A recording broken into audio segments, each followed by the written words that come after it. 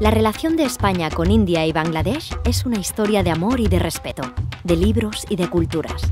Cuando Juan Ramón Jiménez y Zenobia Camprubí se enamoraron, no sabían que su amor provocaría la estrecha relación entre sus países, sus costumbres y la amistad de dos grandes Nobel, Tagore y él. Zenobia traducía su obra y él se encargaba de los poemas prólogos.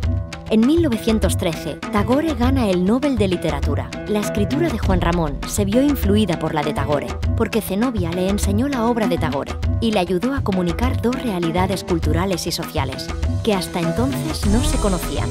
Juan Ramón Jiménez ganó el Nobel en 1956. Tres días después muere Zenobia. Gracias a ella, hoy existen los lazos de respeto, amor y amistad que unen a España, India y Bangladesh. Desde 1972, las relaciones diplomáticas entre España y Bangladesh son estrechas. En 1996, la reina Sofía visitó el país por primera vez.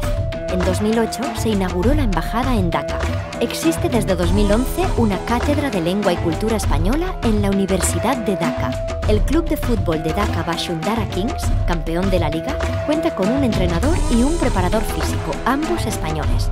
El equipo se ha alzado con la Bangladesh Premier League y la Federation Cup 2020. Monirul Islam es un pintor hispano-bangladesí que estudió en la Facultad de Bellas Artes de Dhaka y se graduó en pinturas murales en la Academia de Bellas Artes de Madrid. Su arte está influenciado por el tiempo que pasó en España y por sus orígenes bangladesíes. A los españoles y bangladesíes les une la pasión por la vida, el fútbol, la buena comida, la familia y la forma de ser. Alegre, colorista y muy vital porque España y Bangladesh son tan buenos amigos como lo fueron Juan Ramón y Tagore.